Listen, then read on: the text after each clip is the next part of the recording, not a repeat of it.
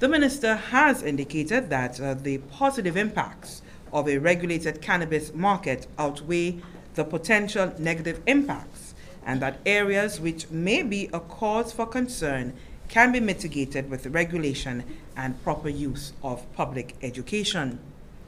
Now, subsequent to the St. Lucia Cannabis Commission's presentation to the Cabinet of Ministers on Monday, June 15, 2020, a key decision was taken to engage in further consultation with key stakeholders and the general public to ensure a more diverse and informed position be formulated ahead of a final decision on the cannabis reform. To date, the Commission has held four virtual consultations themed Cannabis Reform, a Balanced Perspective, and that was held via Zoom with the following key stakeholder groups faith based organizations or religious groups, the National Youth Council and its affiliates, professional civic organizations and NGOs, government departments and agencies, and other statutory bodies. The presentations have been hosted and delivered in part by Mr. Michael Gordon QC, the chairman of the commission, Dr. Stephen King, health consultant, Dr. Gilbertha St. Rose, a subject matter expert, and have been quite informative and engaging. And so today, the reach is being broadened with a national consultation, and we expect that it will also be exciting and engaging. Here with us in studio, Mr. Michael Gordon QC, the chairman of the St. Lucia Cannabis Commission. Dr. Stephen King, Health Consultant, St. Lucia Cannabis Commission. Mrs. Melissa Hippolyte Descartes, who's the Economic Consultant, St. Lucia Cannabis Commission. Mr. Andre Decaires, the St. Lucia Cannabis Movement, and member of the St. Lucia Cannabis Commission. The Governor of St. Lucia is represented in the persons of Mr. Dylan Norbert Inglis, who's the legal officer of the Ministry of Commerce, Ms. Venita Thomas, who is the legal officer at Invest St. Lucia. Let me inform you that we welcome not just your viewership, but also your participation. You will be able to call in when we signal that at the telephone number 468 2162. That's 468 2162. You'll wait for when I will signal the uh, time for calling. And also, as always, please post your questions on our Facebook platform, and I'll be happy to pose those questions to the panel. Let's say good morning to all. Thank you so much for coming in. We will now have the representative of the Ministry of Commerce and the legal officer, Mr. Dylan Norbert Inglis, to give us his remarks.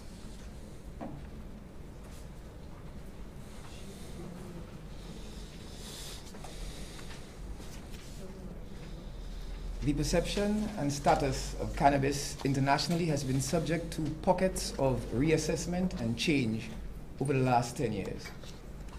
Cognizant of this wind of change and the issues faced by the current regime, the Cabinet of Ministers approved the creation of this Cannabis Commission to assess, examine, and evaluate the status quo and advise, among other things, as to whether there was a need to reform the existing regime. In an effort to ensure that the posture taken on this point was informed by the general population, the Ministry of Commerce, International Trade, Investment, Enterprise Development, and Consumer Affairs, through Invest St. Lucia, hosted a number of stakeholder consultations throughout the length and breadth of the island, culminating in this today's national consultation. It is hoped that the viewers and listeners will approach today's proceedings with an open mind and actively participate in today's discussions. On behalf of the Ministry of Commerce, I invite you to listen attentively, digest the information, comment, where necessary, critique, represent yourselves and your interest groups. Help in the development of a balanced view on cannabis and the reform process therefrom, and the decision on where we as a nation and as a people go from here. Thank you.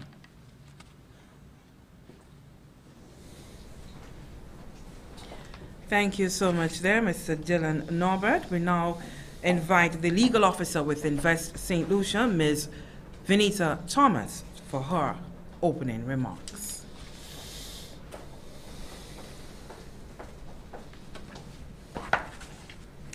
Good morning, everyone.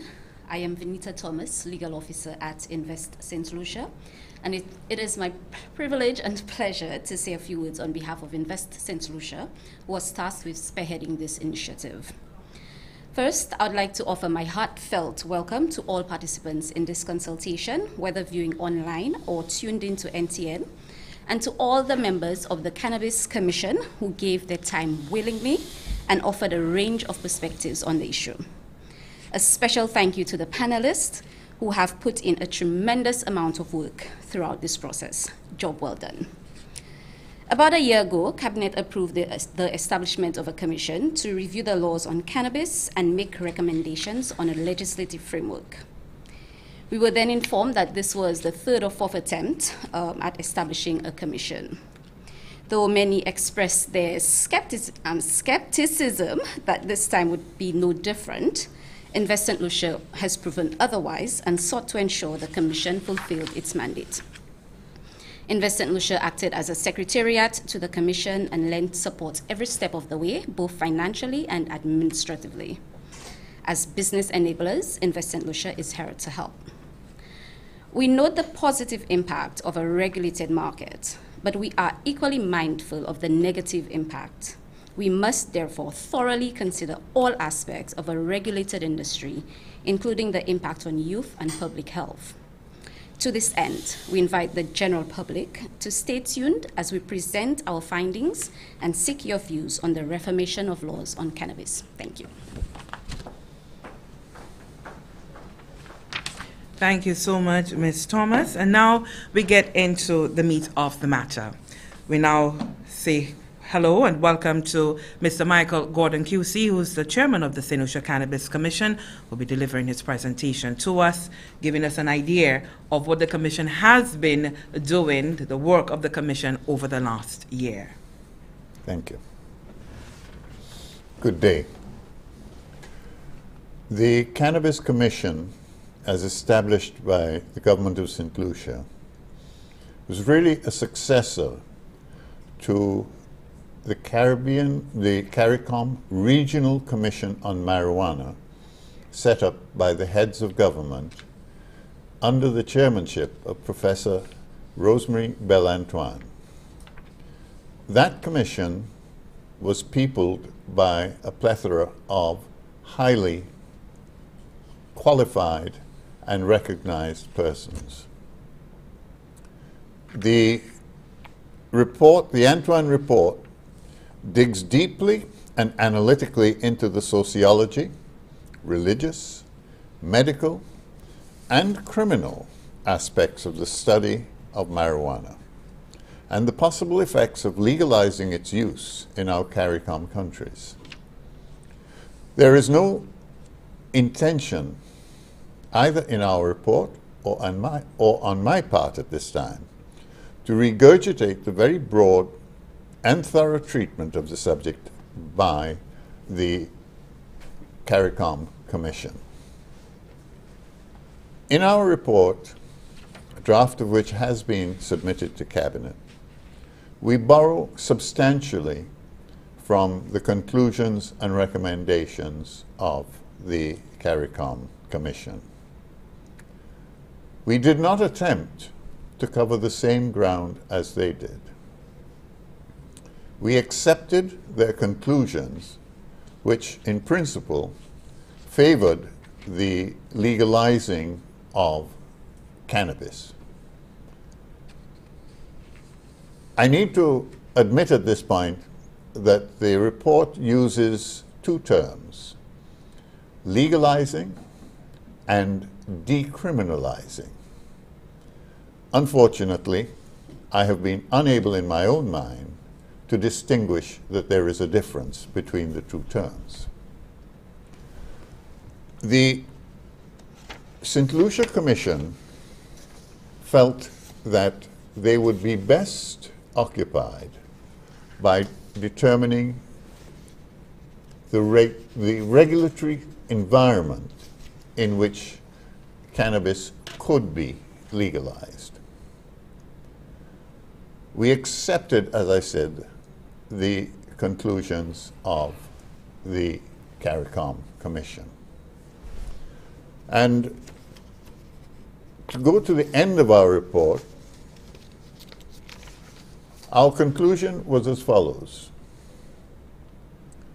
The Commission was of the view that the growing, processing for industrial and medicinal purposes, the possession for recreative use by adults, and the possession and use for religious use should be made legal within a framework which we set out. The Commission was of the view that the protection of young persons under the age of 18 should be achieved by the criminalizing of the sale or otherwise supplying or attempting to supply high THC cannabis for recreational use by young persons. Dr. King will speak at some greater length to the importance of protecting the youth. The Commission came up with their view of how the regulated industry should look. And it is a model not dissimilar from that which existed for bananas. In this model, there would be a central purchasing association, or there would be a St. Lucia Cannabis Cooperative, which would be, which would comprise all the growers of cannabis. Their responsibility would be to license all growers and to determine what criteria should be used by growers in terms of strength, etc. The cooperative would be the licensing authority, and no person could legally grow marijuana, with an exception which I'm about to give, unless they were licensed by the cooperative. The quality of the marijuana produced could be assessed by the Bureau of Standards, which already exists and has the structure that could be used in that circumstance. I mentioned an exception to licensed growers. There are actually two. The first, and perhaps more important, is the use of cannabis by the Rastafarians. Cannabis is regarded by their religion as a sacrament. And it is of interest to note that late last year, the High Court, which is our High Court, in St. Kitts handed down a judgment which determined that the criminalizing of marijuana was against the Constitution, against, it violated the rights of freedom of religion. That particular case has not gone on appeal yet, as far as I know, uh, but that is the law that we are bound by now. Finally, it is the view of the Commission that the growing and regulate, sorry, the regulating of cannabis will be a cost element to government, and therefore a model needed to be developed which would generate a revenue stream to the government of St. Lucia.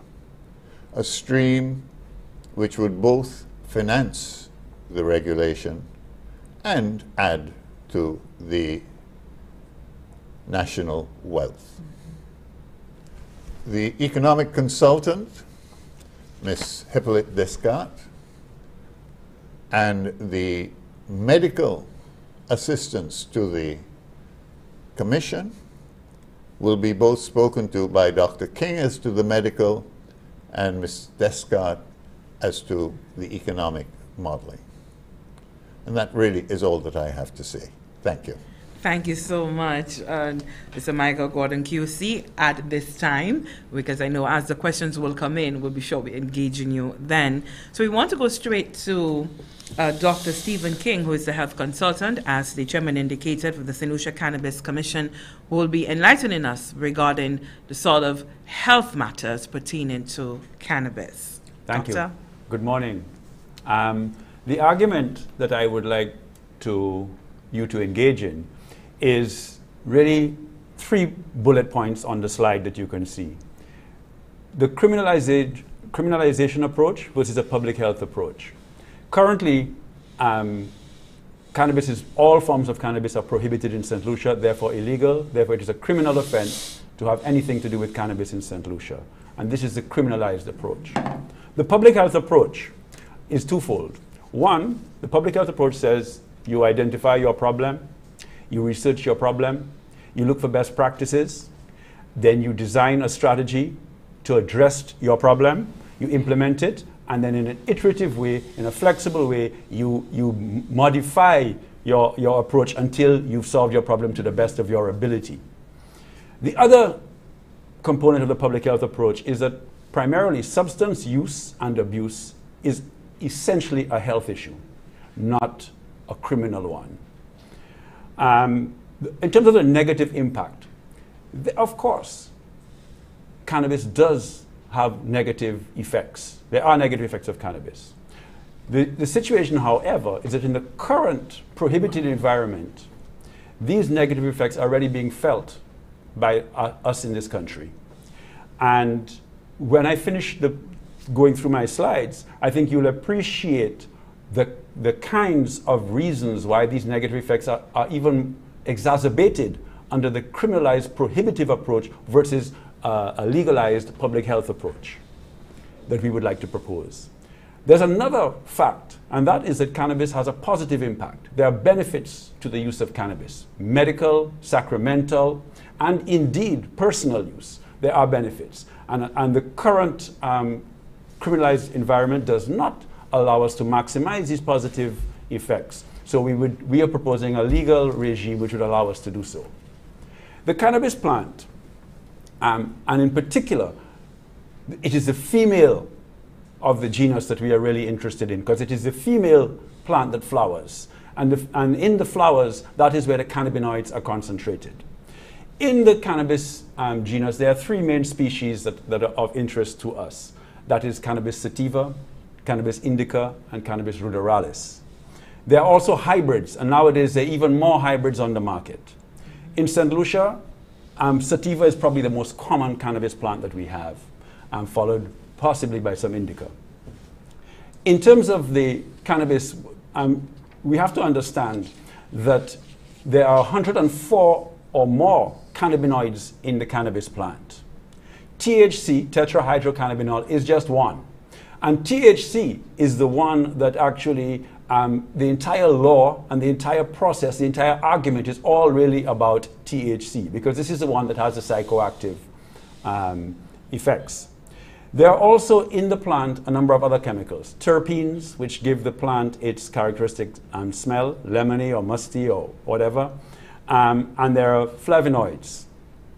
The, the effect of the cannabis plant, medical, sacramental, or for that matter, personal, are often related to the combination of chemicals in a particular plant, which is why the effects of cannabis um, vary from, pl from plant to plant. It's what we call the entourage effect. In other words, you will find that a particular effect, for instance, if you're treating pain with a plant, you may find that um, a particular species with a particular ratio of THC to CBD and to other chemicals will be better than another one with another um, sets of ratios. The other thing about the cannabis plant that we have to understand is that um, the THC levels can be as low as less than 0.3% in what we call hemp. Therefore, a product, a cannabis plant called hemp, has no psychoactive effect. And therefore, our particular um, Misuse of Drugs Act, which, which criminalizes hemp, which is really trying, and the, the purpose of that act is to look at THC and control THC, but hemp has essentially negligible THC. Why would hemp be criminalized in, under the current environment? So I want people to understand that when we talk about the cannabis plant, we are talking about thousands of different plants. This plant has been in use by the human race for over 6,000 years. In fact, it, it, was, it's been on, it was on the medical pharmacopoeia in the, in the United States until 1942. It was actually taken off because the plant was criminalized between 19, 1916 and 1937 when the Marijuana Tax Act was, was um, put in force. This plant became criminalized and then it was removed from the pharmacopoeia. And a lot of the stigma and discrimination and propaganda associated with this plant really um, started then, but was exacerbated in the war on drugs in the Reagan and Nixon era of the 1970s. And the, there's a UN drug report uh, called the War on Drugs, which points out how that war has failed. The next slide shows us this is a, a, a nice scientific diagram showing you a, a, synapse, which is a, which is a space between two um, neurons, which are nerve cells. There's the upper nerve cell and the lower nerve cell. When the upper nerve cell decides, becomes excited and it fires and reduces, re releases chemicals, it excites the, the, the lower nerve cell that you see there. And what happens when, when what happens when, when, when that nerve fires? We get the endocannabinoid system being activated. What does that do? The endocannabinoid system is a regulatory system widespread throughout the body. What that does is it actually slows down, it's like pop up brakes. It puts the brakes on the, the neuronal activity. It, in other words, the endocannabinoid system is a protective system in our body.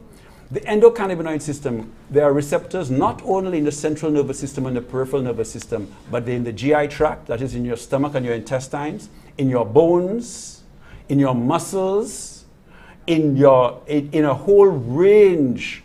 Almost every um, part of your body will have a certain amount of cannabinoid receptors.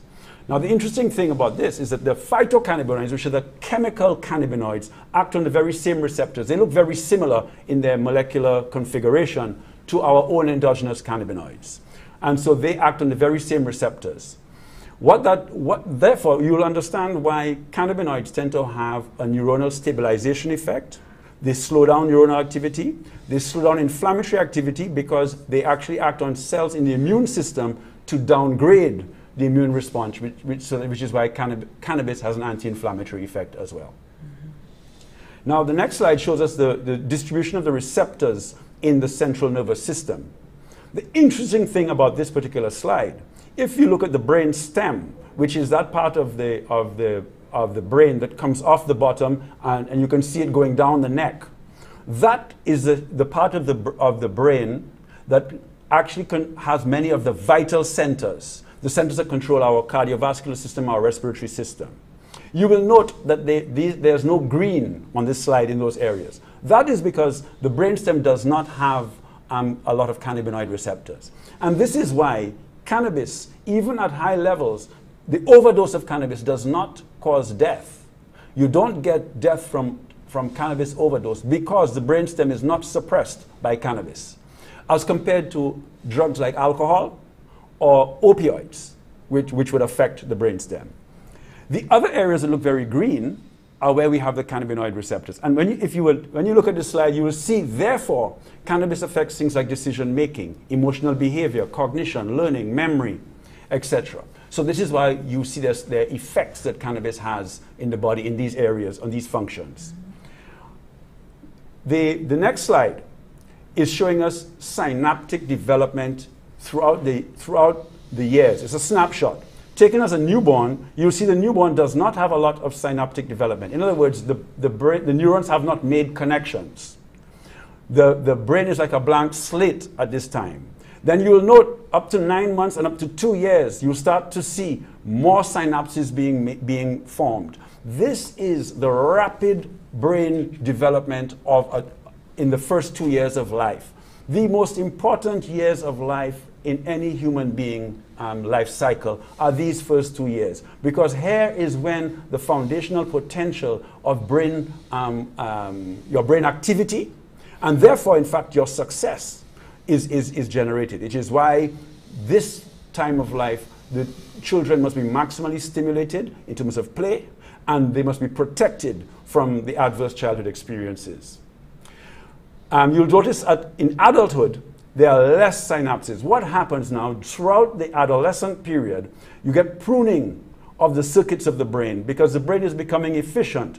The brain becomes efficient based on the context in which the adolescent is growing. Because what, what nature is trying to do is make this human being maximally adapted to the environment within which that, that, that human being is living.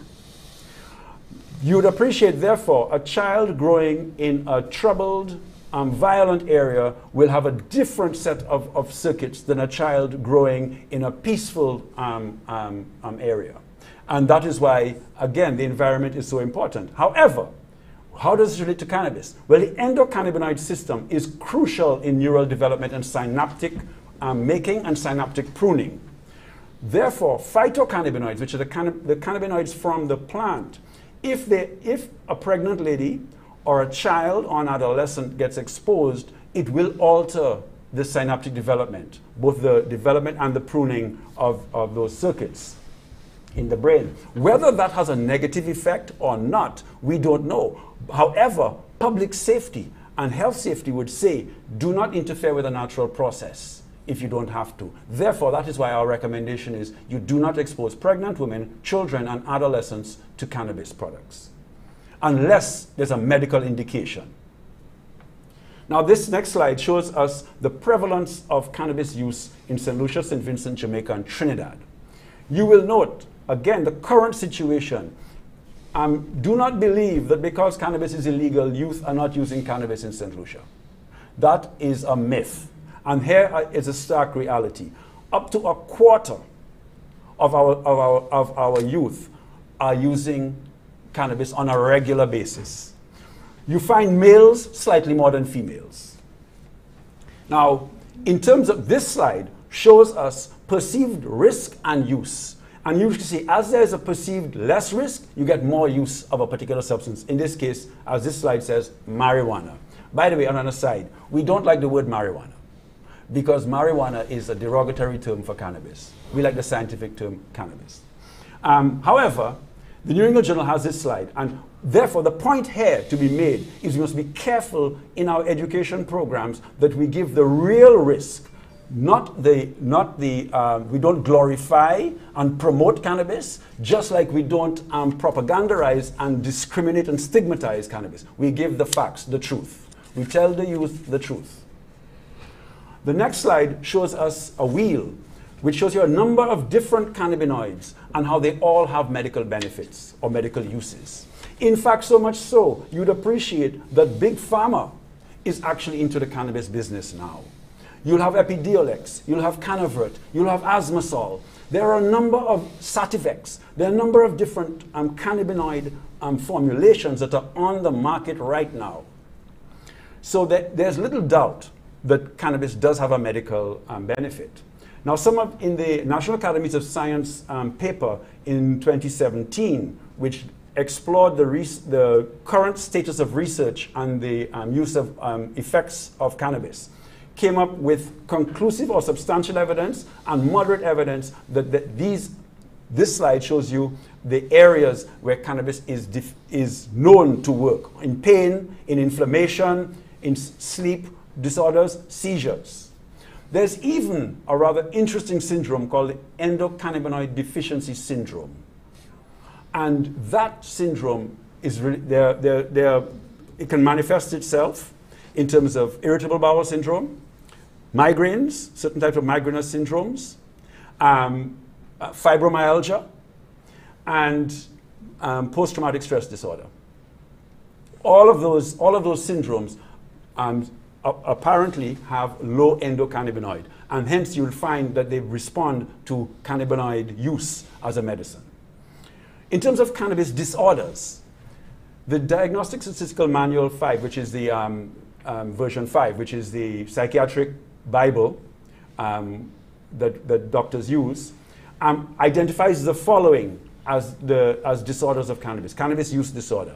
This is, this is a syndrome where, where people chronically use um, cannabis and they become socially dysfunctional, um, productivity is low, and they spend much of their day um, seeking out um, cannabis. This tends to happen in some um, um, people, susceptible people in particular, but also people that are using high THC variants in particular on a daily basis. Cannabis intoxication. This is when people freak out. It, it more happens, um, interestingly, with edibles. Why? Because when you, if you smoke or inhale or put cannabis under your tongue, an oil or whatever, it will be absorbed more quickly and you'll get a more rapid effect. So within 15 minutes of smoking, somebody begins to feel the effects of cannabis. And within two hours, it wears off. When you eat it, it'll take maybe up to an hour for you to begin to feel the effects. It'll take up to six hours to wear off. So what you tend to find is people tend to overeat cannabis and then begin to freak out for a period of six hours.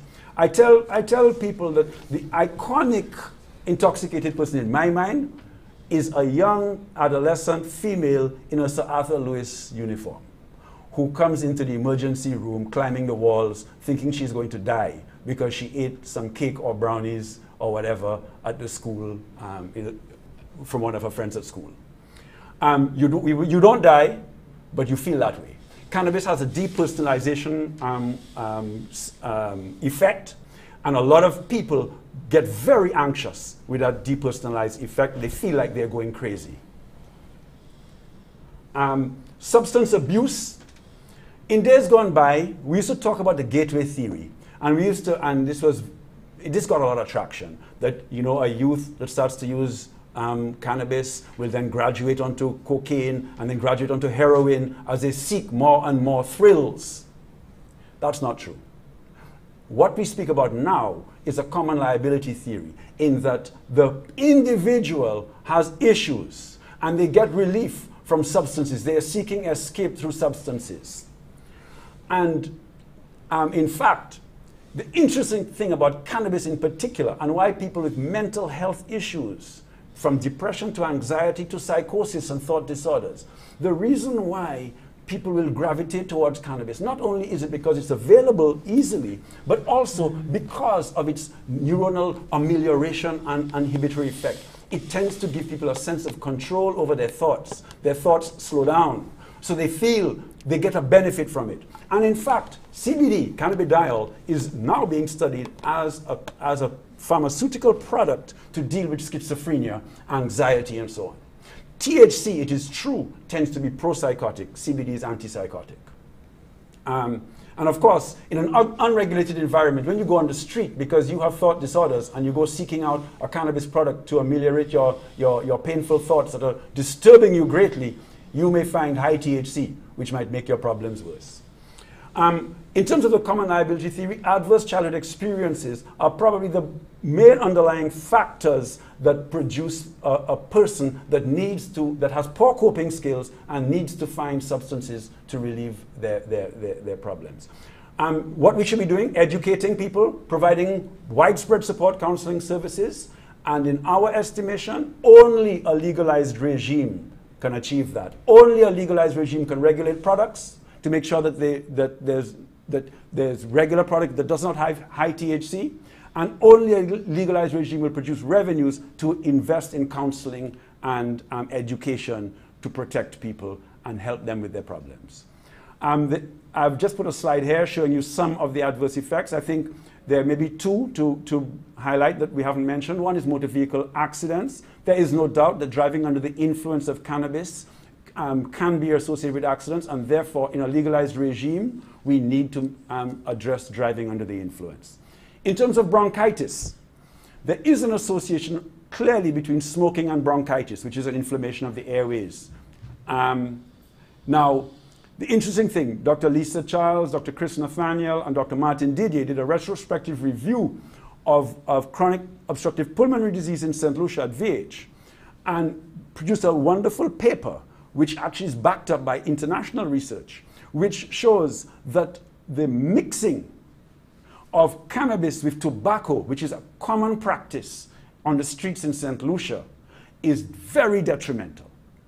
What that does, there's a, approximately a 20 year interval between starting use of a mixed cannabis tobacco product and end stage lung disease, and, and of course, dying with, uh, uh, of, lung, of lung disease. So, what you're finding is um, male, men and women in their 40s are dying as they started their smoking in their 20s or their adolescent period. So the message here is quite clear as we've given it don't mix tobacco and cannabis. The next, um, the next dangerous substance is tobacco. Tobacco by itself, within 50 years, will produce end stage lung disease. Um, cannabis by itself does not seem, at this point in time, by as far as we can tell, does not produce end stage lung disease, although it can produce um, bronchitis. Um, Dr. Um, Naomi Jean Baptiste and Naomi de Turville at the Mental Wellness last year, the last six months of last year, pulled out every admission into the Mental Wellness Center and, and gave me this data. The bottom line is there were 568 admissions to the Mental Wellness Center over those six months.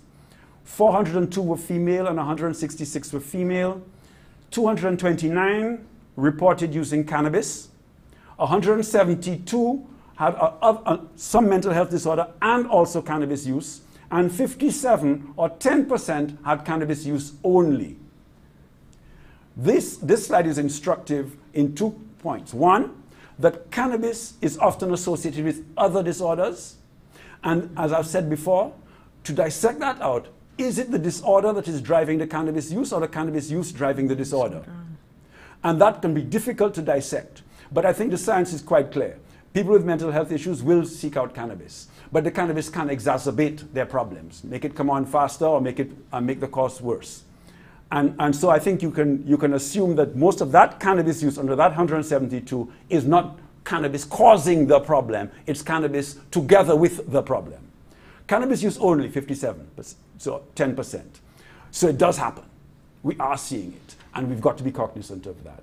In the, in the literature, Again, high THC and chronic use is what is associated with psychosis. In addition, host factors, people with a particular genetic makeup, the, the, the COMT gene and the AKT1 gene, which are genes that program neurotransmitters in your brain, there are certain people with certain formulations of those um, genes that, are, that tend to be the ones that are susceptible to getting what we call ganja psychosis, cannabis-induced psychosis. So it's not everybody. Um, this slide just shows, shows us the other problem in our current regime with, from a health point of view. Whole, if you look at health holistically, this shows you penalties for offense of, of handling cannabis in any form or fashion. And as you can see, incarceration is there. What does that do?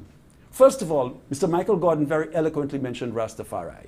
Rastafari is a recognized religion in St. Lucia, and as such, their, their cannabis, which is a sacrament, is, is their legal right, their constitutional right. It is their human right. We have used this particular law, puts them in conflict with this law. Their sacramental use, their human right, is in conflict with our law. This has, this has produced or perpetuated much injustice against the Rastafarian faith. Many of them have been incarcerated, in, and in our view, unfairly so. And in the view of the court, the High Court in St. Kitts, I think it was, that unfairly so. Mr. Gordon probably correct me and say the High Court in St. Kitts is the OECS High Court, but um, fair enough. but there it is. The other population that has been so hurt by this law are youth. You incarcerate a youth, you actually end up really hurting that youth because that stigma of being incarcerated, whether on remand or convicted, is going to hurt that youth for the rest of that youth's life. It alters the trajectory of the success of the youth. Therefore, this law, in our view, is hurting both youth and Rastafarians in particular, and by extension, all of us, because injustice anywhere is injustice everywhere. Um, here now is interesting if you look at this slide from 2014 to 2018, you will note cannabis related arrests to total arrests, the percentage, are dropping from in 2014 11% to 2018 1.6%. What's happening here? Law enforcement is finding it more and more morally incompatible with their, with their ethic to, to, to enforce this law. One, it is almost difficult to enforce it because the actual drug report says there's a prevalence of 11% of solutions that are using cannabis in a, um, in a, in a continuous way. You cannot incarcerate all these people, and law enforcement is actually beginning de facto decriminalizing um, cannabis. And of course, this, this puts them in conflict with the law, unfortunately. Therefore, the law must change. Here is a slide which just merely shows you, in case you thought that people were still not being incarcerated for cannabis-related offenses. In 2018, 26 people were admitted. And I think yesterday Mr. Gordon pointed out to us that there are 35 um, people right now in Bordelais. About 7% of the Bordelais population are there for cannabis-related offenses. So, as we wind down, I would like to propose to you, as we have proposed to the government, that the policy objective should be to increase government revenues, to create business opportunities in a country that has high unemployment and low revenues to many households, minimize the harmful effects of cannabis, improve the health and wellness of people, and, of course, respect human rights. This particular slide is taken from UK Transform or Transform UK, and it talks about this, and many times we go on consultations, and I want to tell you up front, alcohol needs to be better enforced and controlled in our and better regulated in our country. We have laws that are not being enforced, they need to be so. And what this slide points out to you is strict legal regulation is the best possible approach to minimizing social and health harms of any substance alcohol, cannabis, tobacco, anyone. And the two worst regimes are the current regime we have of the unregulated criminal market, where you've prohibited and you have an underground economy where revenues are going to the underground and, and government is spending money to enforce a regime that cannot be enforced in a, in a just manner. And the other regime, or the other side of the curve, the unregulated legal market, free the weed, commercial, smoke everywhere, um, everybody, that is not the way to go either, because that is also a harmful um, regime. So we are proposing the middle regime, which is strict legal regulation in a, in a obviously legalized environment. So my last two slides, I believe, science to policy, what we must do from a scientific point of view. Hemp is, should be um, freely available and legal from now. There's no THC in hemp. And hemp has great industrial uses as well as medical um, um, uses. Um, public education, public education and public education. One-on-one, um, mass media, we need out to be an educated populace with regards to cannabis. The public health approach I've told you about already. Medical cannabis I've told you about already. And research. Let us do our own research and understand this substance in our society, in our culture. And the science to policy, the nose. High potency THC products. Now you'd appreciate in an unregulated criminal regime, we cannot regulate the THC products on the market in the streets. However, in a legal regime, we can, we can um, regulate, and Mr. Gordon spoke to that. No um, cannabis to pregnant and breastfeeding women. No cannabis to children under the age of 18. Zero criminalized, well, no criminalization across the board. As Mr. Gordon said, especially only in the circumstances of underage use. No public smoking. Let us have regulation of public smoking as we do for tobacco. People with psychosis or family history of psychosis, warning. Be careful how you use cannabis if you have a family history of psychosis or if you have a history of psychosis yourself. People with cardiovascular disease, be careful how you use cannabis. Cannabis is a vasodilator. It will drop your blood pressure. It'll raise your heart rate. In fact, that is why your eyes look red when you, when you use cannabis, because your, your, your vessels dilate. Um, be, be aware if you have a, a, a, a weak heart, um, and that hypertensive episode may trigger an event. Don't mix, as we've said, and synthetic recreational cannabinoids, K2 and spice and products like that. We are saying these products should not be brought on the market. And the other area that we have to be careful with the regulation is vaping and the vaping products, which, have been, which in some cases have been associated acute, with acute lung injury. Thank you very much.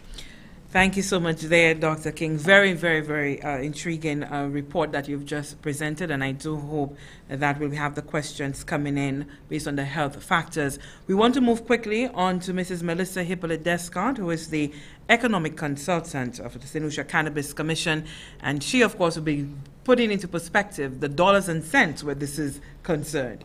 It's all yours. Thank you, moderator. So, Dr. King has spoken about the health effects of cannabis and the Cannabis Commission contracted me to provide an objective economic analysis of the regulation of the cannabis industry in St. Lucia. And one of the things I love about economics is it's very, it's not open to interpretation, it's not subjective. We measure and we provide data and we are advocates for evidence-based policy making.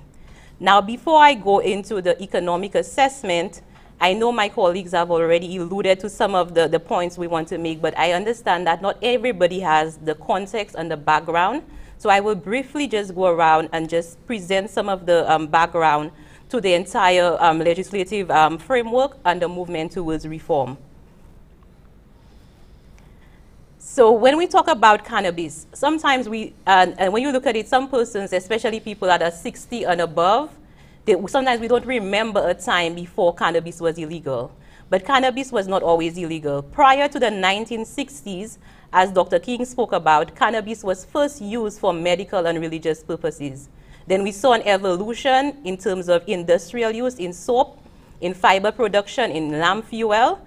And it was in the 1960s when cannabis became popular in the Western world, we saw that shift towards prohibition and criminalization. And interestingly, around that same time, we saw movements in the alcohol industry where alcohol was become, it was legalized, and we found that there were lobbies that would lobby the government because cannabis was perceived as a threat to that budding industry, which was why they moved towards the criminalization of cannabis based on unsubstantiated associations with criminality and the perceived harmful effects.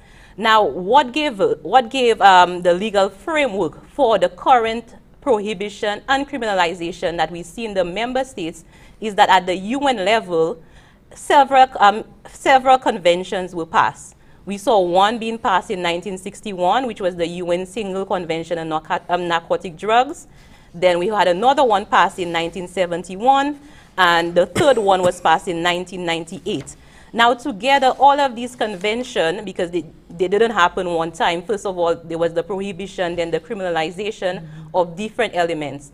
But together, they serve to now uh, illegal not just the possession of cannabis, the production of cannabis, also the, the trade of cannabis. Now, this has very important um, implications because if you're looking at building an industry, if you have a legislative framework that makes it illegal not just to possess, but also to, to, to produce or trading cannabis, we could see why um, the, there is a need towards cannabis reform if we need to benefit from um, having a cannabis industry. But what is interesting, and, and like Dr. King spoke about, the Western world has spent millions on the war against drugs, but has this been effective? So despite this legal framework for prohibition and criminalization, we see the data shows, according to the World Drug Report of 2019, cannabis is still the most commonly used illicit drug.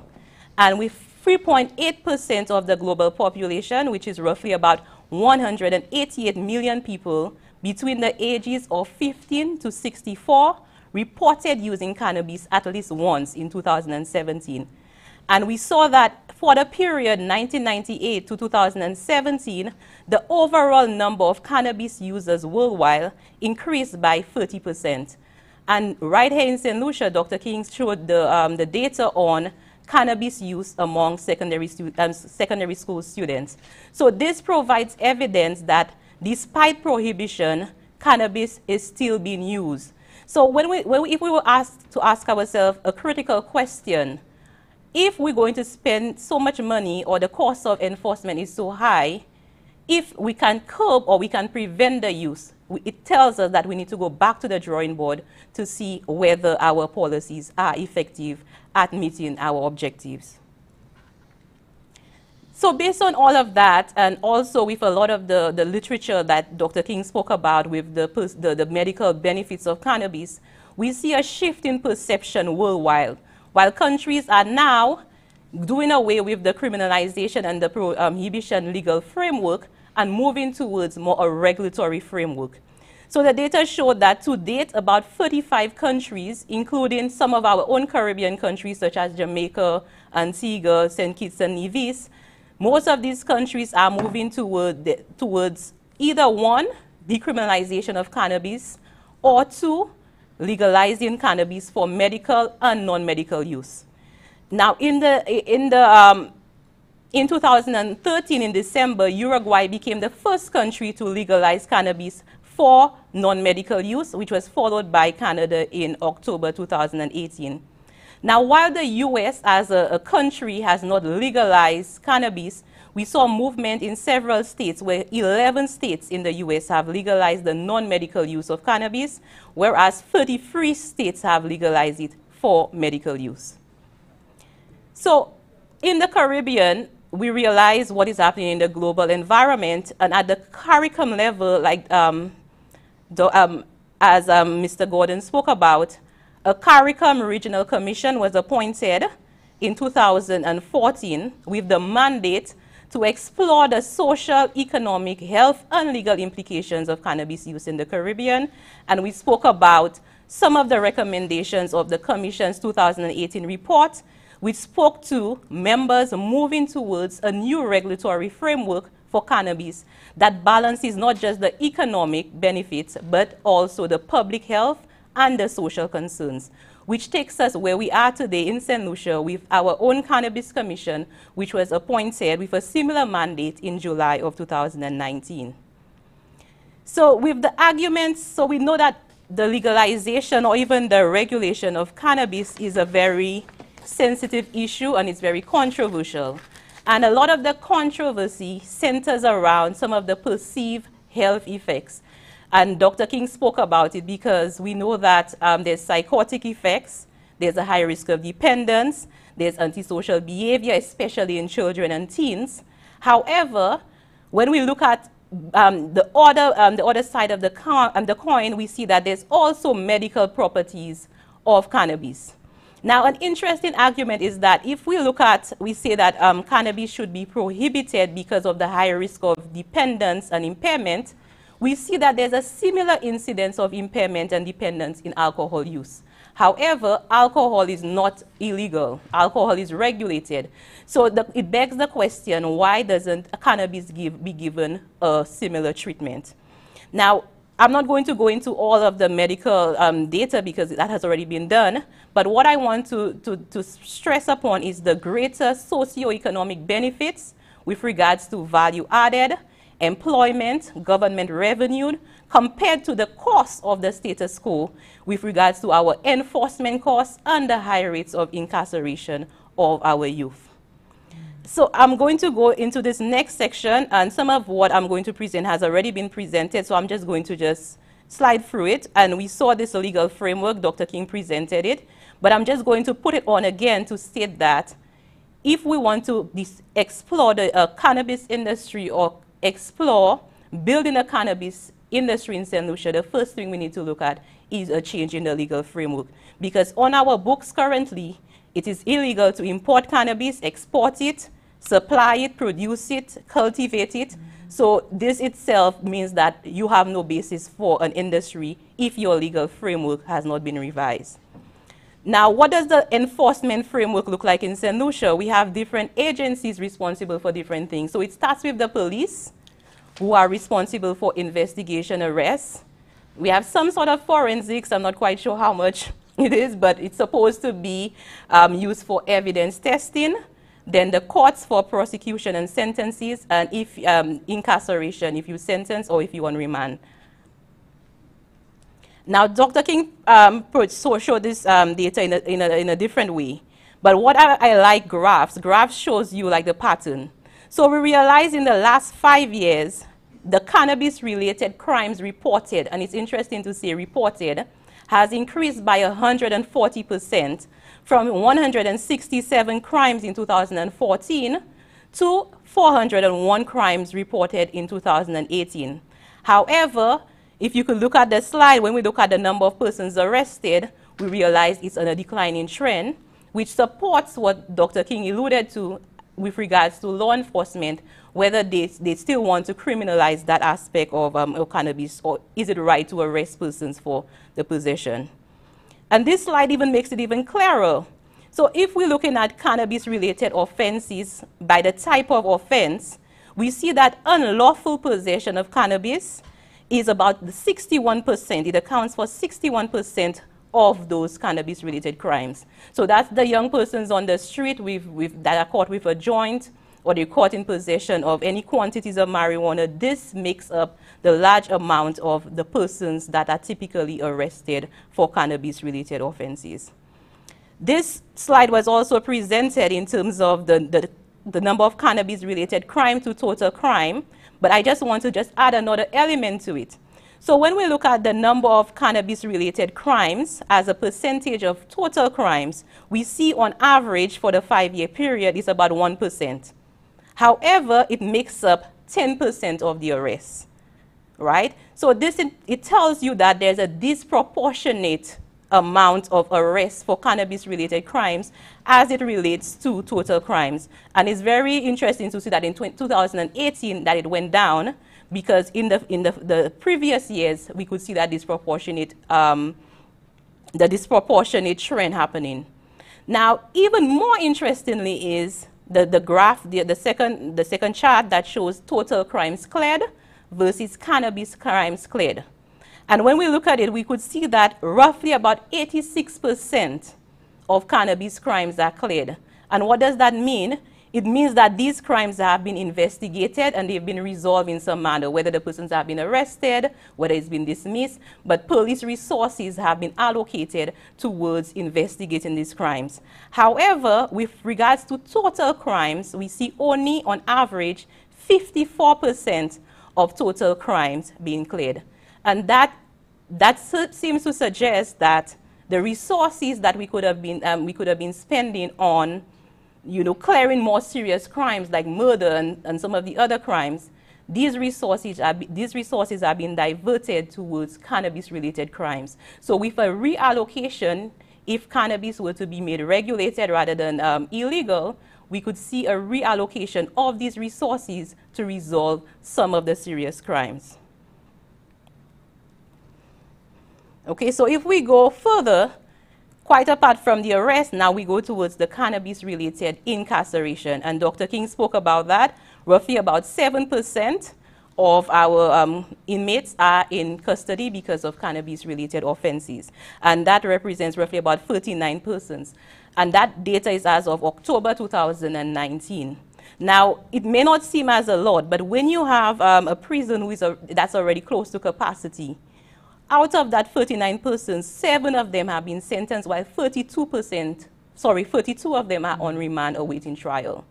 So persons, 32%, 32 um, prisoners have to be fed, have to be housed, awaiting trial, on remand for a cannabis-related offense. When we look at the age distribution of persons that are admitted for cannabis-related offenses, we see the majority fall between the youth years. So roughly between 20 to around 35 percent. And Dr. King spoke about it. That this has very serious social implications because if you have a large percentage of your youth population in, in, in prison, this affects their future prospects for employment, they're stigmatized, and this is what we need to start talking about when we talk about issues of poverty and issues of crime, because some of these um, kids without proper prospect in the formal economy, they find themselves in the informal economy. So it's very interesting that sometimes we don't marry our policies. We talk about, we look at poverty in one aspect, we look at family structure breakdown in one aspect. However, we have a policy on the books that now incarcerate a lot of our marginalized youth and put them in prison just for possession of cannabis. Let's just delve even deeper, and I wanted to provide a slide on just the educational and occupational profile of these um, prisoners admitted for cannabis, and we see most of them would have secondary and primary education, and some of them maybe about tertiary and then university. However, some of, a lot of them would be either farmers, construction workers, mechanics, ca carpenters, and that's just, that's just to say that these people could be out there earning a living, contributing to, to, to the, um, providing employment for their fam sorry, providing for their families, however, now they're in prison. So if we speak about all of these things, it does create um, you know, space for the discussion about what can we do if we realize the current framework is not effective, what are some of the alternative regulatory models we can explore. So in the analysis, there are several, I guess, permutations, but you need to start somewhere, and then we decided to look at three of them, criminalization and two variations of full legalization. Under full legalization, one of them is on the competitive markets, and the other one is state control. With decriminalization, what happens is that a small amount of cannabis for personal use is no longer considered a criminal offense. However, cannabis is still illegal for sale, for production, and possession of more than the minimum amount. With the full legalization, possession, production, and sale is fully legalized. However, the difference between state control and competitive market control comes with regards to the pricing. So under competitive markets, the price is determined by the market, just like regular goods and services. However, under state control, just like government has control over cement and flour, they would have a price on cannabis. So we had some examples of um, some of the, the frameworks that existed in other countries. So examples of criminalization we have Jamaica, we have Antigua. But what's interesting is that in these frameworks, not because there's illegalizations, and some people seem to um, mistake that um, regulation would mean a free-for-all. No, we would still have different um, criterias as minimum age, the personal quantity possession, all of these things would have to be spelled out, and the number of plants for home cultivation. So in Jamaica, we see that the minimum age is roughly about 18 years, and Jamaica has a higher personal possession quantity than most of the other countries at 56.6 grams. Then when we look at full legalization, some examples of that is Colorado, Washington State, California. Most of the US-based states are usually under competitive markets. And similarly, they would have a minimum age. However, in the US, it's roughly 21 compared to the Caribbean, where it's about 18. And their personal quantity is about 28.5 grams. However, the average retail price, which is a very um, interesting element with competitive market, is that the price would vary across states. So in California, it would be roughly about $21, whereas we'll see about $11 in, in Washington state. And Canada and Uruguay would be examples of the state control. So let's go into the economic assessment now. So if we need to do a cost-benefit analysis of the different models, the first thing you would need to do is to make assumptions about what type of framework you would want to implement this on. And um, Mr. Gordon spoke about some of the framework that we, we, we looked at, and I'm presenting two of them here, criminalization, decriminalization, and legalization. So similarly, we would have a minimum age, which is about 18 years, the personal possession quantity, roughly about 30 grams, home cultivation, roughly about six plants. There would be a fine on the decriminalization. However, under legalization, there will be no fine, and so many other elements. So if the government needs to implement a regulatory framework, they would need to um, come up with answers to some of these other um, these, these parts of the framework. So for example, the retail pricing structure, the transaction limit, the average price per gram, the maximum THC content, and we would assume that you know there would be prohibitions on public smoking, drug driving, advertising, and some sort of a tax um, system would have to be considered. So just to put in perspective some of the implementation design that um, Mr. Gordon spoke about, just to see it on screen, we had three options. So these would be the implementation design frameworks if we were to legalize cannabis. The first option would be on the competitive market, and we have two options or two variations of the state control. One would be fully state and one would be quasi-state. Now the differences between this would be um, how you would set up your regulatory authority. So under the competitive market, the suggestion would be that nothing really changes and cannabis would be regulated within a related ministry, similarly to how alcohol licenses are issued and that uh, ministry would be responsible for enforcing the regulations, and tax would be administered similarly under the Inland Revenue Department.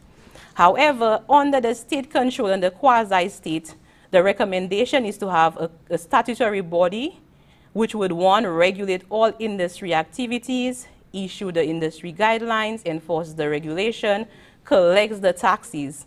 But the difference between the quasi-state and the state is that one, the, um, the state would now operate the, um, the cooperative, whereas under competitive market, under quasi-state, the cooperative would be owned, it would be a private company partly owned by the farmers, and it would be, it would be licensed to sell to wholesalers and manufacturers of re- um, retailers.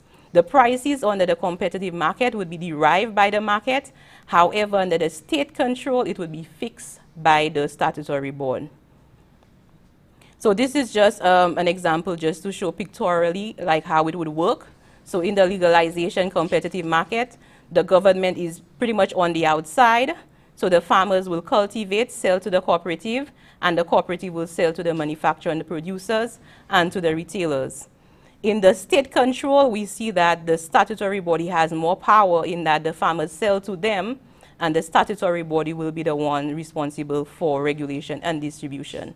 Whereas in the hybrid, which is the quasi-state, you still have the cannabis um, body regulating, however, the farmers sell to the cooperative, and the cooperative sells now to the manufacturers. So I'm going to present some numbers below. On this slide, which is the implementation design and assumption, just gives the basis assumptions as to where we got some of those numbers. So the assumption is that local farmers will cultivate roughly about 2,000 acres with a ratio of roughly one farmer per acre. Now, this is in no way indicative of what the government will um, decide. However, you cannot measure if you don't make assumptions. So some assumptions have to be made. So if we say that roughly one acre produces 360 pounds of clean and dry cannabis, and the manufacturer would purchase this at roughly about 205 EC dollars to produce CBD oil for export, and we would have retailers selling to the domestic consumers and tourist visitors. The proposed tax rates, so we, um, the assumption is that several taxes would be implemented at different levels so we'd have a farm gate, farm gate tax, which is roughly about $50 per kilogram, would be placed on the farmers. Then the manufacturer will be paying a corporate tax rate of roughly 30% of profits. Then persons that are employed, because one of the interesting things about having the industry is that you have employment and the government will now benefit from additional personal income tax from those persons um, getting a job and um, the licenses would be paid by the cooperative. So the cooperative will not be paying taxes. However, because under our Cooperative Act, um, are non-profits. However, they will be subject to an annual license fee of roughly about $2,000 per annum, and this is subjective. And the farmer will also now be licensed at roughly about $500 per acre. Then there'll be an excise tax on the CBD oil, and the government can choose between whether they want a VAT or if they want a cannabis sales tax or if they want both. So they would have to consider that based on um, the pricing because you'd want to have a price that would not lead to you know, the price being higher than the black market and then persons you know, still go to the black market which negates what you're trying to achieve. So when we look at the methodology, um, we use a cost-benefit analysis to assess the three frameworks and these are not exhaustive, but it was based on the available data. So some of the costs we looked at was fiscal costs, which is including um, enforcement costs of your police, your prisons, implementation costs, the social um, costs, which is the health and treatment costs of um, the mental health costs, the economic, which is roughly the employment, the wage loss due to incarceration. And under the benefits, we see government revenue in taxes, licenses, fees, and fines, increase in employment and wages, and value added. So when we look at the enforcement costs, um, we look at police detection costs, court-related costs, forensic costs, prison costs, and the details of this would, would be in the report in terms of where the data was found. Under the decriminalization model, or what happens right now, we realize that we pay roughly $2.4 million every year just to enforce the current regime. However, if we were to decriminalize marijuana, which is not legalization, so there'll be no industry, there will still be some element of enforcement, but the cost goes down to roughly 1.9 million. And under Model 2 and 3, which are the legalization models, the cost is significantly lower, which is just a little bit above half a million dollars. When we look at the revenue, under the, and so there will be no revenue under the, under Model 1 because decriminalization, there will be no industry. But under Model 2 and 3, we see that there's a roughly about $82 million that can be generated with um, Model 2 and roughly about 80 under Model 3. So both of these models will yield significant amount of revenues for the government. The differences is um, the differences we saw was based on the implementation cost. So if you have uh, Model 3 where you have a statutory body, there will be more implementation costs, which would um, account for the difference. When we look at value added, and I'm not going to go into all of the methodology, but value added is how we measure GDP, the contribution to GDP.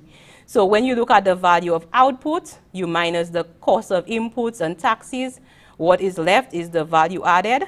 And we saw that the value added on the Model 2 is roughly about $426 million, which is very significant. And especially in a time of COVID, um, the, the, the economy can definitely do with that boost. So just to provide a summary of the results. So when we looked at all of the different costs, all of the different benefits, we had to now weigh the models and evaluate them based on the net benefits or the net costs. So the current model, which is model zero, which is prohibition of um, cannabis, we're left with a negative number, which is a cost of roughly 3.6 million. Model 1 is a little slightly better, which is decriminalization. However, there is still a cost without any additional benefits of roughly 2 million. However, if we were to go the route of legalization under Model 2 and 3, we see that there is an, an excess of roughly about $550 million under those models. So just to summarize everything in an economic impact summary, we wanted to look at what would be the benefits to GDP, unemployment, the fiscal balance, and the external trade balance. So based on the figures for GDP at 2018 prices, we saw that the economy was roughly about $4.4 billion um, with regards to GDP. Now, if we were to add the value added from the cannabis industry of the $426 million, the increase in gross value added would be roughly about 10 percent. Now compare that to all of the, the, the, the um, declines. On average, the economy of St. Lucia grows roughly about one, maybe if we're in a good year, 3%. We've not had 3% in a very long time. So roughly about 2%. So just the value added from that industry can give you a bump of roughly about 10% increase in your GDP.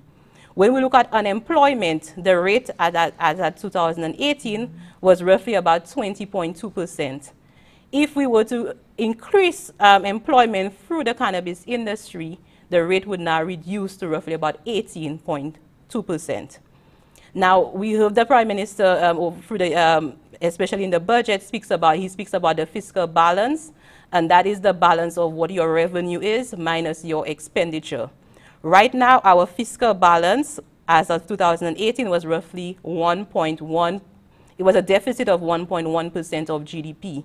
However, with the additional revenues from cannabis, we could see that we would move from a deficit into a fiscal surplus of roughly 0.5%.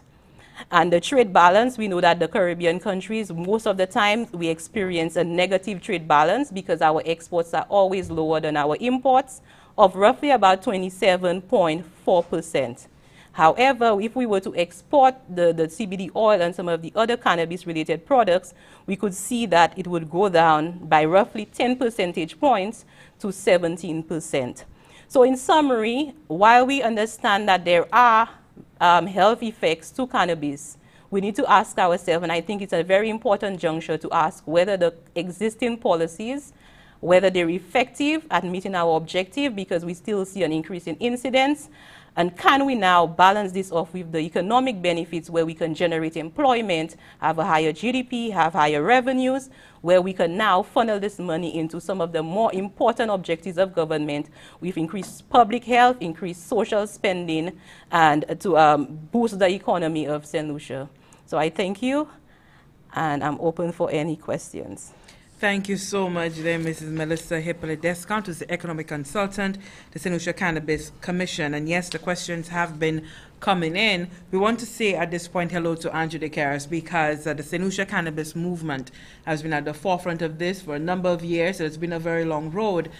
Having heard the presentations, and of course, you've been involved in uh, the, the work of the commission over the last year, for you, is this comforting that. Lucia seems to finally be carving out a path for itself where the use of cannabis is concerned?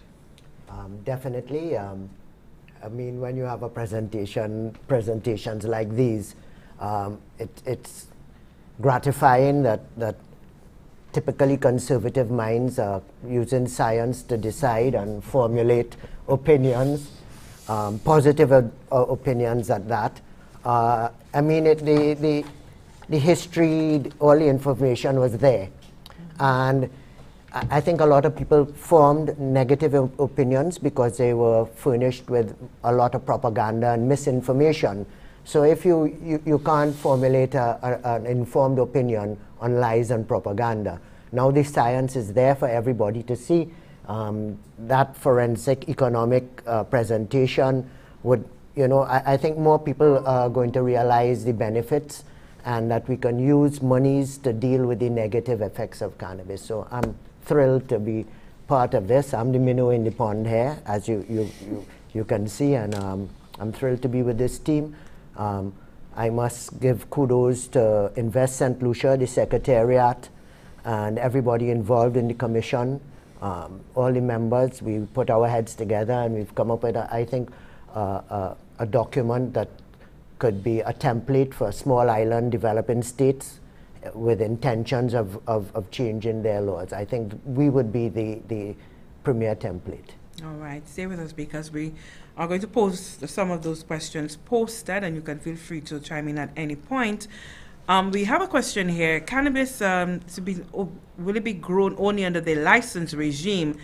And does that mean a Rastafarian or someone growing for personal use, um, unlicensed, will be facing penalties? We do provide in the report a specific section dealing with Rastafarians. Uh, we also provide in the report that one of the things we recommend is that persons be allowed to grow a certain maximum number of plants within their own home environment. But the Rastafarians have to be regarded as a separate problem. Not problem, a separate uh, issue to be dealt with. What is the regulatory model being proposed by the Commission? Fundamentally, the regulatory model is that there be, as I stated earlier, there be a cooperative which would comprise all the growers and it is that cooperative which would license new growers. It is that cooperative that would purchase all of the produced marijuana, other than that produced by the Rastafarians or persons within their domestic environment. And it is that cooperative which would sell to the persons for personal use and or and for medicinal and industrial use. Um, Lisa, if I can just add something on this too. Um, the cooperative model is so important, and Mr. Gordon has mentioned it, but I want people to also understand how important it is to have small farmers in a collective such that they can have the capital power to invest in the agribusiness and the value added um, products of cannabis. So, for instance, the extraction um, facilities and the pharmaceutical factories that can be that can be that are part of the cannabis industry. Um, it is important that we bring that cooperative together so that we, we wanted to have a model that is a wealth um, generating model for the small farmers as opposed to a, uh, an extraction type model where you know we are just raw we are producers of raw material and um, foreigners or other people um, big capitalists benefit so it's, it's a it's primarily a pro small farmer pro poor model for, in the cannabis industry. And I, um, we were at pains at, um, with the commission discussions that I was involved in. For, for uh, I heard that. And that is something we recommended very strongly to government to not move away from that model. Okay. So under this um, regulatory framework, will we be seeing the prohibition of the importation of cannabis for local use and for sale as well? Uh, importation is not something we have dealt with, rather the opposite. But um, in my estimation, yes, importation would be made illegal. Okay. What would be the overall cost of licensing to a cannabis farmer, Ms. Descartes? You want to Oh. speak to that? And as well as while we're on it, um, sort of to quantify for us on an annual basis the sort of revenue uh, you would propose that the country be able to earn from the cannabis. Okay, so just going back to um, one of my slides, for the farmer, the license fee is roughly, um, well, my estimates were based on a license fee of roughly $500 per year, per annum. And the revenues we saw um, are roughly um, between 82.2 million and 80 million dollars under the different models. Okay. So how will the informal um, industry that we have going on now be brought into this regulatory, um, regulated environment? I would leave that to Mr. Decaires. Um, right now, we have many people, more than a thousand people, who sell, grow. Um, there's an underground industry that's worth probably about between 45 and 50 million dollars. And how we came up with that, if 20% of the people spend five dollars a day on cannabis, um, that's 34,000 people spending five. It's close to 45 million dollars a year. So right now, as it's illegal, there's this this industry that is contributing to people's livelihoods, and many people send their kids to school w- with that money and buy, just live on that money. And what we don't want to do is to, to get into a legalized regime, and those people who have been are in it get marginalized. So what we want to do is basically turn a criminal into a legitimate business person. So uh, everybody who is selling on the block or uh, growing would join the cooperative, get license, obviously training, because there'd be a new way to sell. You wouldn't have to be by a corner sticking it in a bucket underneath some bush somewhere. Because of the regulatory requirements, you'd, you'd be required to display your cannabis. It would be weighed, uh, and, and that's where all the regulations come into place. So the people who are involved right now, we want them to benefit economically first, and then people behind them come into the industry. Right, so we have another question coming in here. Will a value added business model, like an edible based uh, business using cannabis, need to be licensed, or will farmers solely need to be licensed? My own view is that such an industry would need to be licensed. End use must be licensed, in my opinion, simply so that there can be control. I don't know if I agree. anybody Yes. else Yeah, agree. feels That's the the same. model. All agreed. All agree. All right, wonderful. Uh, does a distinctive St. Lucian strain of cannabis currently exist? No. Um, having I've, over the years, I've been privileged to meet many people in the cannabis industry worldwide, and many of them uh, have encouraged us to develop. It's called a, a, a land-based strain. Like, for instance, um, many people may have heard of the Jamaica lamb's bread and the Hawaiian Maui Waui. These are, uh, uh, uh, and the, the um, Colombian gold. These are strains that have been grown there for years over and over again. And as a result, they, they, they're typically named and they have a certain flavor percentage THC. What has happened with us is that we have been, we just use any seeds we can get. Our farmers just use any seeds we can get for, for years.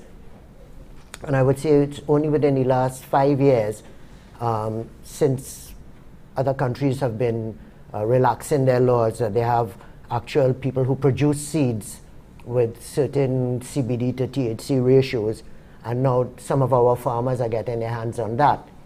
So they're foreign seeds that we grow in here, and with legalization, we will have a research license and we'd be able to develop our own land, land race strains. So no, we don't have like a Grace Gold or Piton Red or no, we don't we don't have those strains as yet. So what are we taking to the market? On- Once we, we're able to go this way, what are we taking to the market to draw all of this uh, economic benefits to St. Lucia? Most of that that Ms. Hippolyte Descartes um, was based on the medical, the 2,000 acres of medical cannabis. So um, the medical cannabis industry can take thousands of tons to be turned into to, to CBD oil that then you add value by making pharmaceuticals out of it. So a lot of that is based on that model. It would be hard if somebody grows 50,000 pounds of high grade THC. Where would we sell it? And at this point in time, the world market, there, there's not much, um, like we export piton, and you can get piton in America. At this point in time, we can't really export our cannabis anywhere yet because the international cannabis markets haven't been developed to that state as yet. So the, the big money would be right now for, for farmers in the medical cannabis industry. Just to, just to add to that, um, so the way the model would work, um, so if the farmers were to produce or to cultivate the cannabis, they would earn roughly um, an income of roughly about $65,000 a year, which is equivalent to about five, roughly $5,400. However, um, the value added we see is in the CBD oil, like um, um, Andre said. And when we did the research, on average, um, a liter of CBD oil goes for roughly 150 US dollars, which is roughly about 405 EC dollars. So there's a, um, there's a huge market for CBD oil, and it's very expensive, and that's where most of the value added will be generated. Dr. King wanted to chime in? Yeah, two things. Um, one is that you know a lot of people there might be saying, yeah, but you know as the market, as other countries come into this, the price of CBD oil might drop under under, under production, and that's why one of the models or one of the things we were keen on is putting more value added in St. Including pharmaceutical factories. So because what will happen is that if we are if we, we are then converting our own oil into our own pharmaceuticals, the price of pharmaceuticals tends not to be um, as um, fickle as the price of, a, of, a, of, a, of an intermediate product such as CBD oil. It's not a raw product, but it's an intermediate product. So that's one of the reasons why we want a model that we can invest in all the value added so that we can have a far more sustainable cannabis industry. So we're not just depending on the price of CBD oil extracts on the global market. We can actually produce our own pharmaceuticals as well. And the other thing is that talking, there's a very interesting paper came out last year on the cannabis experience, a scientific study done on the experience, personal experience of recreational cannabis. Because traditionally we've said that high THC gives you a better experience than low THC, generally speaking. This, this paper is saying that's not so. The entourage effect gives you a different effect. So actually, cannabis strains are a lot like wine. And it is not straight measured THC, 15% THC is, gives you a better high than a 10% THC. It's all the other chemicals in it. And when we do our research over in the, in the recreational personal use market, you're now talking about the boutique type of market, especially if you're talking about cannabis tourism. So in that research, we're going to have to be finding out strains that grow, for instance, in the Fond St. Jacques volcanic um, soils in, in, in certain cool environments that may produce a particular high grade, not necessarily high THC, but high grade experience um, cannabis um, product that we can then use as a niche marketing. That's the kind of thinking we would have in the two arms of the industry the medical arm and the, the, the, the sort of the, the boutique um, experience arm. If I might just add to that, a fundamental in our thinking in choosing the cooperative was to be able to get the local farmer combined in a body capable of investing in the intermediate and ultimately the final product. That to us was crucial. Okay. We have another medical question coming in here. Dr. King, uh, what provisions uh, are in place for the user of cannabis who may suffer from drug-induced psychosis?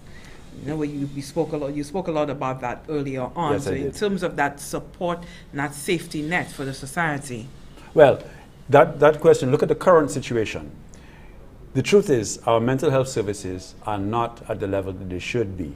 Um, we have current mental health services, and we all know what they are, right? And that is what's, what we are currently using for anybody with a psychosis, including a cannabis induced um, um, psychosis. Um, what we are proposing in our legal regime is a couple of things. One, good education, good family support, good medical support, and better mental health services. I think mental health services, when we did the health financing, the last time I was involved in health research and we did health financing, we found that we were so behind the eight ball, so low, our investment in mental health services in St. Is way behind what it should be. Um, the cannabis industry gives us an opportunity to invest, and I'm talking about in holistic mental health services. So we're talking about prevention of problems, we're talking about the early identification of problems, and the, the, the targeted personal um, strategy, because each person may have a different set of supports, a different strategy, and a different set of reasons as to why they are they're having a particular problem with a particular substance, such as cannabis. So we are saying that if we have more revenues, we can then invest in, in, in these services and therefore create a much better environment for people who suffer the consequences of cannabis induced mental health issues, um, including psychosis.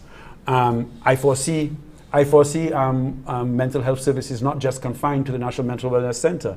The, de- the decentralized model of mental health, community mental health services, we can invest in that with mental health teams in communities so that you can actually handle um, people that may have a, a, a, a psychotic episode, not so much as sending them to Kubaril, but, keep, but having them close to home where you can have the, the, the, the family support and community support. And, that, and that's where we have to go. And that's why we're talking here today. Because, because in fact, we want communities to understand mental health, particularly as you, as you raise it here, and to actually embrace the fact that mental health is not is just another illness that needs to be handled with clear strategies that we know that we know. We just need to invest in them and put them in place. all right. We're fast running out of time, but I have two other questions here. What is the less harmful way of consuming cannabis? Um, maybe, uh, Andre, used to go on that one first, and I'll come after.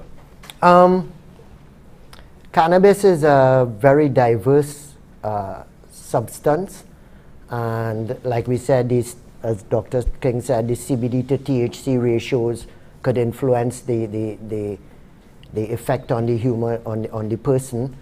Um, and then there are the tolerance levels of the individual themselves. Um, sometimes with one strain, one person, just like alcohol, can take two draws on it and attain a certain um, sensation, a buzz, and is happy with that. And they have other people that would use that same cannabis and smoke a whole spliff and not attain that buzz. Um, so, in terms of smoking, um, I would say anybody who's who's initiating, and we're not promoting smoking. We know that smoking is not good. We're not promoting advertising. But if some, because in one of our um, consultations around the country, a young lady said, Well, I don't smoke, but if it's going to be legal, I sure would like to try it. How do I try it? And that was a question that, you remember that? Yes, I do. Yeah, uh, it's a hard question to answer because she says, "Well, I, uh, now it's legal. I want to try it." So, how do you educate people as how to initiate themselves in cannabis? And I would say, take one pull and don't take more than one pull and wait for the effect. Wait 20 minutes. If you're going to, if you're going to eat it, be very careful. Take a small amount and wait an hour, and that, that's it. So it depends on the metabolism of the person, their tolerance levels. As Dr. King said, you know, if you have genetically predisposed, not good. Then don't, don't bother. And yes. there's so many ways. So, for instance, you know, smoking. Okay, you release the THC. THC is, is, a, a, is in, in the cannabis plant is is, is is form of THCA. You need to actually heat it or burn it to release THC. Because THCA, which is a carboxylated THC, doesn't have any psychoactive effect. It's THC when you decarboxylate it that has the effect. And that happens with burning or exposure to light. So when you, when you light it and you burn it, you, you, you will re- you get THC, but you get smoke coming down as well. That smoke is irritant. And I remember, I mentioned about not mixing it with tobacco, just to remind people on that. Vaping. So the, when, you, when you burn, you have a high um, temperature and you have a lot of, of smoke product of all different kinds. And smoke will have 500 plus chemicals in it, in addition to the cannabinoids. Vaping, as you'd appreciate, is a much lower temperature and you can actually the, the, the, the oil that you're going to vape with could actually um, only give you the cannabis or the cannabinoids you're looking for or the extract from the plant if you're doing it in a holistic way not and not without all the other um, chemicals so you'd say that vaping might be less dangerous than smoking the, the, burn, the burning spliff right? Then you could have like the Rastafarians when you when you take it through the water and, and, and stuff. So you could, they, they, or however however um, I, Pancho can tell you more about that than me, right? But again, you, that's another way of, of, of, of reducing maybe the, the ill effects of smoking. In terms of oil, because you can have oil, which can have THC. You can put oil in, in, in your, your food. You could put oil in your, in your tea. You could put oil, well, you could, you could put drops of oil in your, in your mouth, in your tongue, under your tongue, etc. You could have sprays that you could use, you know. Um, so there are a whole you can put it in your food, your, your, brownies, your cakes, your salads. So there are different ways. But remember, if you don't heat it, and you take a raw plant and you don't heat it, you're not going to get any psychoactive effects. Many of the oils, um, and again, Andre can tell you more about those oils and how they produce them, but some of those oils are produced through a heating process. So the oils have already liberated the THC in the oil. Right. I want to thank you so much. We have so uh, used up all of our time and even overtime. We want to thank you for all of this information, and I do hope that St. Lucians to have a better sense of what the work of the Commission has been in the last year, the now draft report that the Commission has, and that the government is going to be guided by in order for a definitive decision to be made on the cannabis industry in St. Lucia.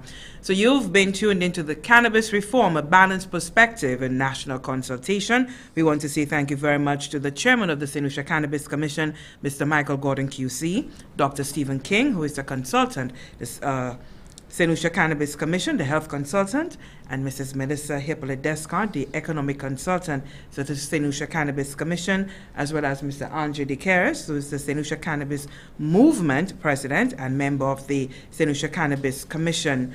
We also want to say thank you to Mr. Dylan Norbert Inglis, the legal officer within the Ministry of Commerce, as well as Ms. Venita Thomas, the legal officer at Invest St. Lucia. I am Mr. Joseph saying thank you so much for watching. Until next time.